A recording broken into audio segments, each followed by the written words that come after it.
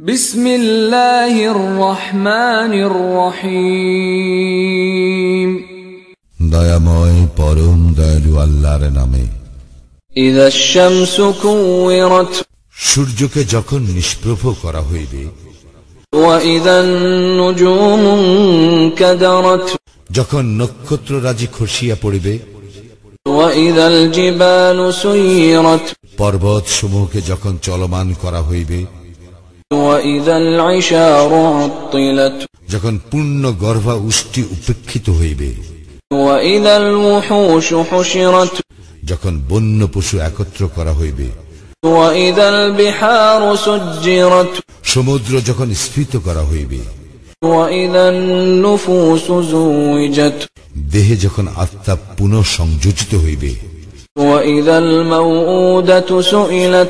যখন জীবন্ত সমাধিস্থ কন্যাকে জিজ্ঞাসা করা হইবে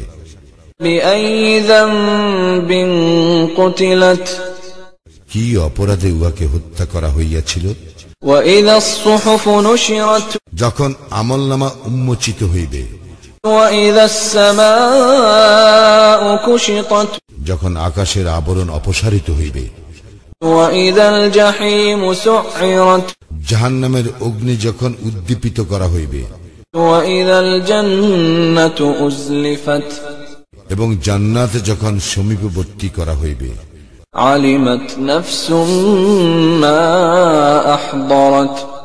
তখন প্রত্যেক ব্যক্তি জানিবে সে কি লইয়া আসিয়াছে।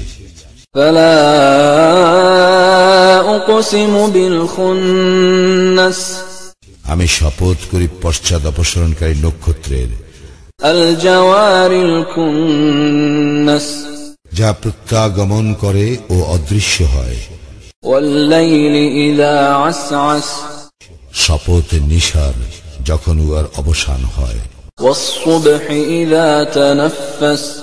আর উষা যখন উহার আবির্ভাব হয়। ইন্নহু লাকাউলু অসুলিং কারীম। নিশ্চয়ই এই কুরআন সম্মানিত বার্তা বহের আনিত বাণী ذي قوة عند ذي العرش مكين যে সামর্থ্যশালী আরশের মালিকের নিকট মর্যাদা সম্পন্ন مطاع ثم أمين যাহাকে সেখানে মান্য করা হয় যে বিশ্বাস ভাজন وما صاحبكم بمجنون আর তোমাদের সাথী উন্মাদ নয় ولقد رآه بالأفق المبين সে তো তাহাকে স্পষ্ট দিগন্তে দেখিয়াছে وما هو على الغيب بضنين সে অদৃশ্য বিষয় সম্পর্কে কৃপণ নয় وما هو بقول شيطان رجيم এবং ইয়া অভিশপ্ত শয়তানের বাক্য নয় فأين تذهبون সুতরাং তোমরা কোথায় চলিয়াছ إن هو إلا ذكر للعالمين ইহা তো শুধু বিশ্ব জগতের জন্য উপদেশ لمن شاء منكم أن يستقيم তোমাদের মধ্যে যে সরল পথে চলিতে চায় তাহার জন্য وما تشاءون إلا أن يشاء الله رب